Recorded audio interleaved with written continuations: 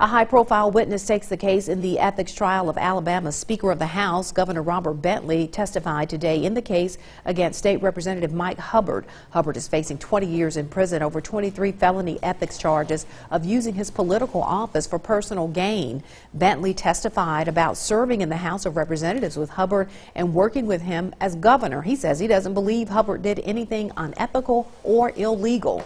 If convicted of any charges, Hubbard would be removed from office.